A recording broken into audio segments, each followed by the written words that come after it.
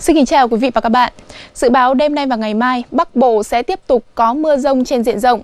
Lượng mưa phổ biến từ 20 đến 40 mm, cục bộ có những điểm lượng mưa vượt 150 mm. Đề phòng ngập úng ở các vùng trũng thấp khu đô thị hay là hiện tượng sạt lở đất, lũ quét ở khu vực vùng núi. Sạt lở hay lũ quét thường diễn ra rất nhanh, quy mô nhỏ thế nhưng thiệt hại lại vô cùng lớn.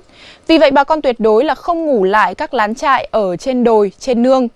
Thường xuyên quan sát xung quanh nhà, hãy nhanh chóng di rời nếu thấy có dấu hiệu bất thường như các vết lún, nứt ở trên tường.